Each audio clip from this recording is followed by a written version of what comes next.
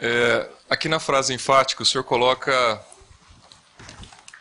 é, as max conquistas evolutivas atuais tornam-se mais acessíveis e menos problemáticas a partir do momento no qual consiga encara a própria planilha evolutiva ou o autoproexograma. Eu queria que o senhor falasse um pouco mais de planilha evolutiva e autoproexograma.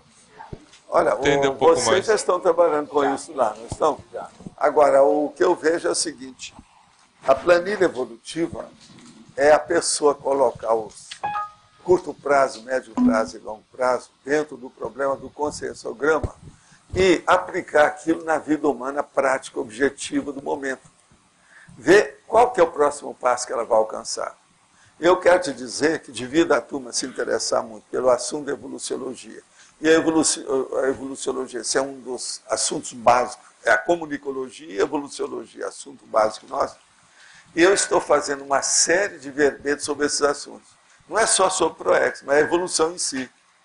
Tem muito verbete ainda para trazer aqui sobre isso. E a gente fala sobre planilha. E esse negócio de planilha também, eu já trouxe um verbete sobre isso, parece que nós já debatemos Já, aqui, já? Pois é. Seria bom você ver. Agora, do ponto de vista do autoproexograma, isso é o estudar mesmo o manual da Proex e ver onde é que a pessoa se encaixa ali dentro.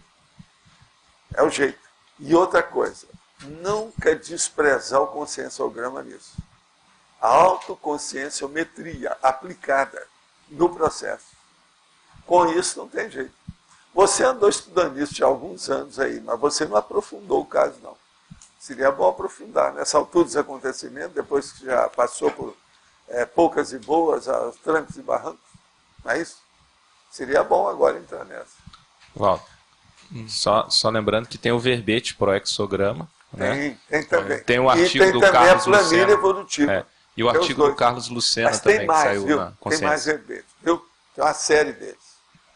A última É, tem questão. uns que ainda, ainda preciso trazer. ainda Ah.